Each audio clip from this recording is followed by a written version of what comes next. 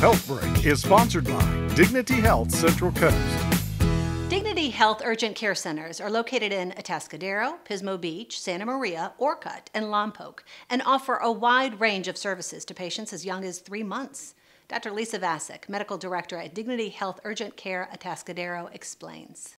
We provide high quality patient care and we put patient safety and satisfaction at the forefront. We see kids, we see adults on up to whatever age.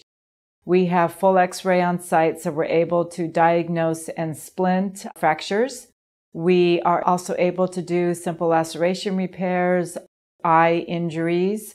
We have OCMED services, which includes drug screens, work comp, DOT, DMV physicals. We have certified medical examiners for that reason.